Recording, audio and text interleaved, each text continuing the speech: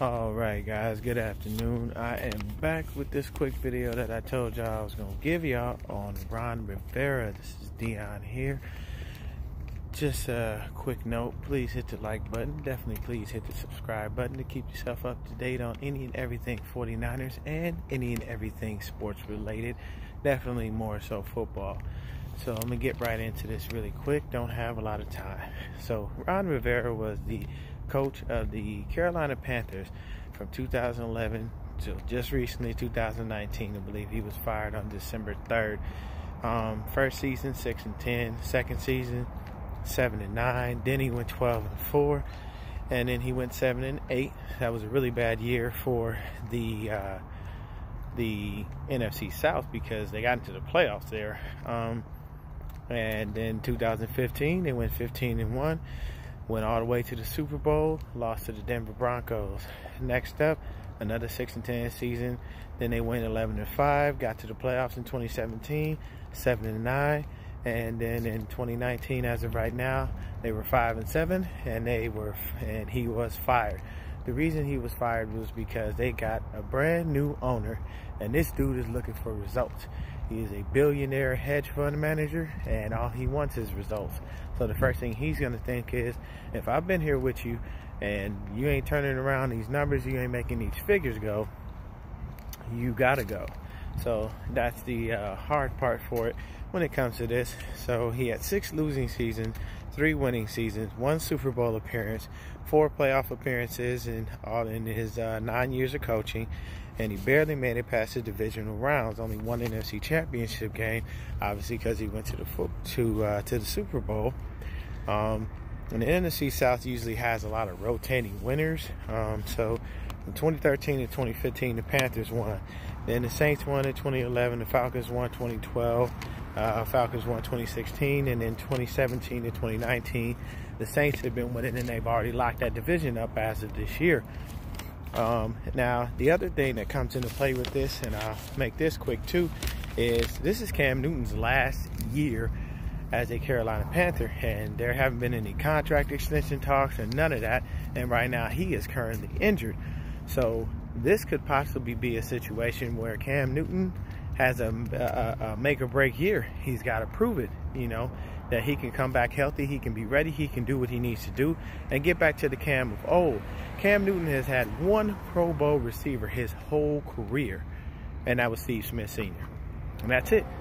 So what that tells you is, is that they haven't necessarily gotten him the greatest of help, but he's made do with whatever he's had. Now, he has had top tier running back talent throughout the time that he's been there. He had DeAngelo Williams. He had Jonathan Stewart. They were one-two punch in that backfield. They were ridiculous. Uh, more recently, they got CMC. Uh, Christian McCaffrey is doing very well. But I think next year is going to be another time for their new owner, I believe his name's David Tepper, um, to be able to go ahead and say, you know what, let me evaluate Cam Newton too and see if I need to get him out of here, give me a new quarterback and get me some new receivers because they basically have a lot of different needs. And one thing that they don't I really have a problem with is their defense. Their defense is actually fairly solid, and that hasn't been an issue for them in recent years. It's more so been the offense. Cam has always been a great dual threat quarterback. He can run, he can throw, more recently, he has slowed himself down as far as, uh, you know, running the ball because he's been trying to, you know, preserve his body. He's getting a little bit older, and it's not as easy to take all those hits like it used to be. So I can tell you right now, this next year most likely will be either Cam's last year or the year that he can take them to the playoffs or show this new owner, hey, I'm worth every penny. Go ahead and re-sign me, and I'll take you into the future and get you a Super Bowl. Um, but next, you know, Ron Rivera did, a, you know, an okay job. I mean, you know, he had a lopsided win-loss record, you know, but at the end of the day, it's going to be a little bit hard because you want to make sure that you can get all you can get from a coach and all you can get from the quarterback and the offense and the defense. But if you don't produce and you don't put up the numbers and you are unable to make sure that you, you know, show that you can get to the playoffs and be a perennial playoff contender and a Super Bowl contender, then what's going to happen? You'll get fired. So I'm not a Carolina Panthers fan. I don't know a lot about them. I mean, I watch football so I can understand how things work. You know, I know that the first quarterback they had was Jake Delhomme that took them to the Super Bowl. I know they lost to the Patriots. Um, and like I said, I know about that one-two punch with Jonathan Stewart and DeAngelo Williams for so long.